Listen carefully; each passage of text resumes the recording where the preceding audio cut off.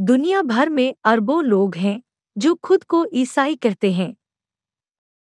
उनका मानना है कि यीशु क्रूस पर मरे और कब्र से पुनर्जीवित हुए और स्वर्ग में चढ़े। पादरी ईसाइयों से कहते हैं कि यदि आप मरने के बाद यीशु पर विश्वास करते हैं तो यीशु आकर आपको पुनर्जीवित करेंगे और आपको स्वर्ग में ले जाएँगे। कब्रों में अरबों लोग फिर से जीवित होने की प्रतीक्षा कर रहे हैं, जिनकी मृत्यु पिछले 2000 वर्षों में हुई थी। एक भी व्यक्ति मृतकों में से जीवित नहीं हुआ। कोई भी इस पुनरुत्थान पर सवाल नहीं उठा रहा है और कोई सबूत नहीं मांग रहा है कि वे सिर्फ़ विश्वास कर रहे हैं।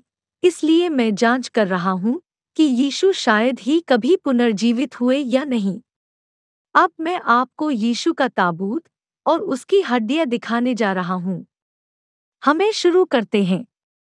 यह यीशु के खोए हुए मकबरे के बारे में एक वृत्त चित्र है।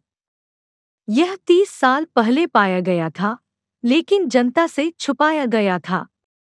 यह यीशु के पारिवारिक मकबरे पर सिमचा जैकोबोविसी द्वारा बनाई गई मूल वृत्तचित्र का तमिल अनुवाद है। उन्होंने 2007 में वृत्तचित्र बनाया। जेम्स कैमरून, अवतार फ़िल्म निर्देशक यीशु वृत्तचित्र के पारिवारिक मकबरे का निर्माण किया। मैथ्यू का सुसमाचार बताता है कि यीशु के शरीर को ले जाया गया और गुप्त रूप से दफनाया गया। आप इसे यीशु के चित्रों में देख सकते हैं। कई चर्चों में 1980 में एक निर्माण कंपनी जेरूसलम शहर में एक बड़ी कंक्रीट की इमारत बनाने के लिए खुदाई कर रही थी और अचानक उन्हें कुछ संदिग्ध लगा। एक छोटी सी गुफा मिली थी और बच्चे गुफा के पास खेल रहे थे। बच्चों ने बड़ों से कहा कि कुछ प्राचीन और रहस्यमय है, लेकिन किसी ने इसकी परवाह नहीं की। इस मामले में बच्चे की माँ ने काफ़ी दिलचस्पी दिखाई। उन्होंने पुरातत्व विभाग को जानकारी दी कि यहाँ एक बेहद प्राचीन मकबरा है। पुरातत्व टीम को कॉल करने वाली पहली शख्स है रिविका मौज। पुरातत्व दल ने मकबरे के प्रवेश द्वार पर विशेष चिन्ह की पहचान की और सोचा कि यह एक बहुत प्राचीन और महान खोज है और वे विस्तृत विश्लेषण करना चाहते थे। टीम अंदर गई तो दंग रह गए। यह एक अकेला मकबरा नहीं है। उन्हें गुफा के अंदर दस कब्रें मिली।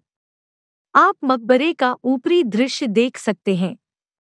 कृपया ध्यान से देखें। उन्हें अंदर छह बड़ी गुफाएँ और दस ताबूत मिले। पुरातत्व दल ने सभी प्रतियों को राष्ट्रीय संग्रहालय में स्थानांतरित कर दिया।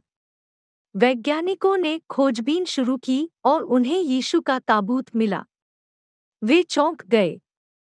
यह यीशु के ताबूत का पार्श्व दृश्य है। यह यीशु के ताबूत के सामने का दृश्य है।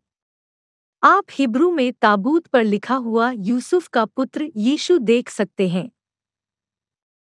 ताबूत पर एक पवित्र क्रॉस चिन्ह भी उकेरा गया है। कृपया ध्यान से देखें।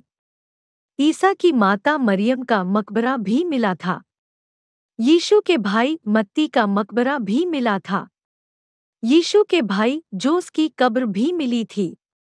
एक अन्य ताबूत जोसेफ के जेम्स सन शीर्षक के साथ मिला था। वह यीशु का भाई है।